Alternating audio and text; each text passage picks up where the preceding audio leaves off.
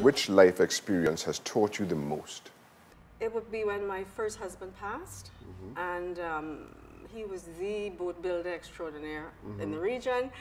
And I made the decision not to sell the business. I made the decision to go in and run the business. I think that was the life changing experience for me. The challenge was that it was an industry that all male, Mm-hmm. the staff was all male. It's not machines mm-hmm. building boats, it was all staff. Right. The clients are all male. Right. Clients are all male.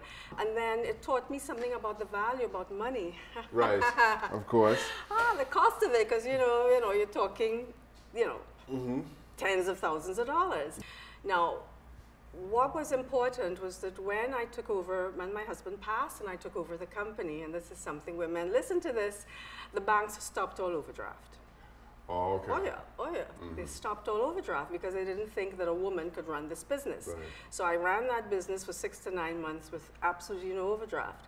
So it was important to keep things Right. to keep things turning. Yeah. At that time, it's just you didn't associate a woman with board building. Forget it. Mm-hmm. Much less the whole idea of business and you know and, and the necessary you know things that one needs to do. I don't run from things. I deal with things um, head on. Um, I take on what I feel I can do and what I feel I can learn. Um, and the interest is there and I can learn to do. Um, and I give it my all, which I think is important. And if anything, if I'm able to pass anything on, it's that.